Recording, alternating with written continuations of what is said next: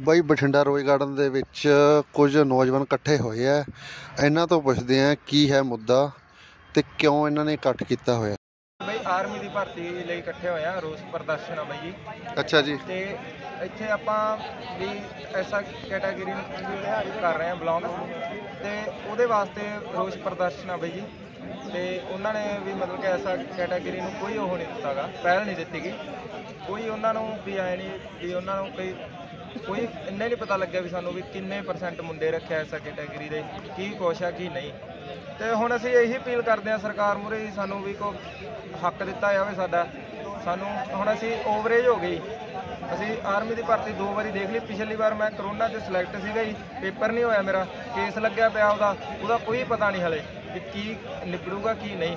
ਹੁਣ ਮੈਂ ਭਰਤੀ ਦੇਖੀ 100% 100 ਨੰਬਰ ਮੇਰਾ ਫਿਜ਼ੀਕਲ ਚੋਂ ਆਈ 70 ਨੰਬਰ ਮੇਰੇ ਪੇਪਰ ਚੋਂ ਜੀ 35 ਸਵਾਲ ਕੀਤੇ ਜੀ ਮੈਂ, ਬਿਲਕੁਲ ਸਹੀ। ਪੇਪਰ ਮੇਰਾ ਕੱਢ ਕੇ ਦੇਖ ਲੈਣੀ। ਰਣਵੀਰ ਮੇਰਾ ਨਾਂ, ਰੋਲ ਨੰਬਰ ਹੈਗਾ ਮੇਰਾ 140 14068 ਮੇਰਾ ਰੋਲ ਨੰਬਰ ਆ, ਮੇਰਾ ਪੇਪਰ ਕੱਢ ਕੇ ਦੇਖ ਲੈਣ 35 ਸਵਾਲ ਮੇਰੇ ਬਿਲਕੁਲ ਰਾਈਟ ਆ।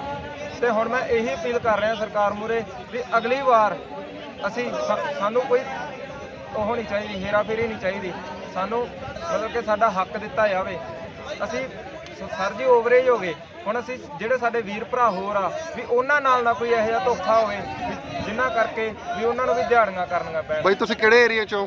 ਅਸੀਂ ਬਠਿੰਡਾ ਏਰੀਆ ਚੋਂ ਜੀ। ਫਿਰੋਜ਼ਪੁਰ ਸਾਨੂੰ ਲੱਗਦੀ ਹੈ ਜੀ ਛਾਉਣੀ ਅਸੀਂ। ਉੱਥੇ ਭਰਤੀ ਦੇਖੀ ਸੀਗੀ। ਵੀ ਸਾਨੂੰ ਬਿਲਕੁਲ ਹੱਕ ਨਹੀਂ ਮਿਲਿਆ ਜੀ ਸਾਡਾ। ਤੁਸੀਂ ਕਿੰਨੀ ਦੇਰ ਤੋਂ ਆਰਮੀ ਦੇ ਵਿੱਚ ਅਪਲਾਈ ਕਰ ਰਹੇ ਹੋ? ਆਰਮੀ 'ਚ ਹੋ ਗਈ ਮੈਨੂੰ 3-4 ਸਾਲ ਹੀ ਮੈਨੂੰ ਤਿਆਰੀ ਕਰਦੇ ਨੂੰ ਪਹਿਲਾਂ ਹੀ ਦੇਖ ਲਓ ਜੀ ਮੈਂ ਹੁਣ ਮੇਰੀ ਉਮਰ ਮਾਪਿਆਂ ਨੂੰ ਸਹਾਰਾ ਦੇਣ ਦੀ ਹੈ ਜੀ। ਤੇ ਮੈਂ ਵਿਹਲਾ ਫਿਰ ਰਿਹਾ ਜੀ। ਵੀ ਉਹਨਾਂ ਨੂੰ ਕੋਈ ਮੇਰਾ ਜਿਹੜਾ ਬਾਪੂ ਜੀ, ਉਹ ਵੀ ਬਜ਼ੁਰਗ ਹੋ ਗਏ ਜੀ ਵੀ ਕਮ- ਕੋਈ ਕਮਾਉਣ ਵਾਲਾ ਨਹੀਂ ਘਰ ਚੋਂ। ਵੀ ਸਾਨੂੰ ਇਹੀ ਅਪੀਲ ਕਰ ਰਹੇ ਹਾਂ ਸਰਕਾਰ ਮੂਰੇ ਵੀ ਹੁਣ ਅਸੀਂ ਕਰਗੇ ਕੀ? ਵੀ ਸਾਨੂੰ ਓਵਰੇਜ ਵੀ ਕਰਤਾ। ਵੀ ਪੰ- ਪੰਜਾਬ ਪੁਲਿਸ ਦੀ ਭਰਤੀ ਕਹਿ ਰਹੇ ਵੀ ਆ ਗਈ। ਭਗਵੰਤ ਮਾਨ ਨੂੰ ਪੁੱਛਣ ਵਾਲਾ ਹੋਵੇ ਕੋਈ ਵੀ ਪੰਜਾਬ ਪੁਲਿਸ ਦੀ ਭਰਤੀ ਦਾ ਤੂੰ ਕੱਢ ਲਈ ਤੇ ਜਿਹੜੇ ਪਹਿਲਾਂ ਹੀ ਮੁੰਡੇ ਸਿਲੈਕਟ ਕਰੀ ਬੈਠਾ ਤੇ ਉਹਨਾਂ ਦਾ ਕੀ ਸਾਡਾ ਕੀ ਦੋਸ਼ ਆ ਫਿਰ? ਤੂੰ ਤਾਂ ਪਹਿਲਾਂ ਹੀ ਮੁੰਡੇ ਸਿਲੈਕਟ ਕਰੀ ਬੈਠਾਂਗਾ ਜਿਨ੍ਹਾਂ ਨੇ ਵੀ ਲੱਗਣਾਗਾ। ਨਹੀਂ ਭਗਵੰਤ ਮਾਨ ਸਰਕਾਰ ਤਾਂ ਕਹਿ ਰਹੀ ਹੈ ਵੀ ਅਸੀਂ ਸਾਰੀਆਂ ਭਰਤੀਆਂ ਹੌਲੀ ਹੌਲੀ ਕਰ ਰਹੇ ਹਾਂ ਟਾਈਮ ਲੱਗਦਾ ਹੁੰਦਾ ਹੈ ਵੀ ਸਾਨੂੰ 10 ਮਹੀਨੇ ਹੋਏ ਆਏ ਨੂੰ। ਉਦੋਂ ਨੂੰ ਓਵਰੇਜ ਹੋ ਗਈ ਅਸੀਂ। ਓਵਰੇਜ ਹੀ ਹੋ ਗਏ। ਬਸ ਫਿਰ ਕੱਢੀ ਜਾਵੇ ਕੋਈ ਫਾਇਦਾ ਨਹੀਂ। ਸਾਈਨਿੰਗ ਇਨਿੰਗ ਰੱਖ ਦਿੰਦੇ ਫੀਸ- ਅਸੀਂ ਗਰੀਬ ਬੰਦੇ ਕਿੱਥੋਂ ਅਸੀਂ 600 ਰੁਪਏ ਹੁਣ 600 ਰੁਪਿਆ ਫੀਸ ਆਈ ਐਸਸੀ ਦੀ। ਪਹਿਲਾਂ ਕੋਈ ਫੀਸ ਨਹੀਂ। ਤੇ ਹੁਣ ਅਸੀਂ ਫੀਸ ਕਿੱਥੋਂ ਭਰਾਂਗੇ? ਸਾਨੂੰ ਦਿਹਾੜੀਆਂ ਕਰਨੀਆਂ ਪੈਣਗੀਆਂ ਅਸੀਂ ਦਿਹਾੜੀਆਂ ਕਰਗੇ ਕਿ ਪੇਪਰ ਦੀ ਤਿਆਰੀ ਕਰਗੇ ਜੀ।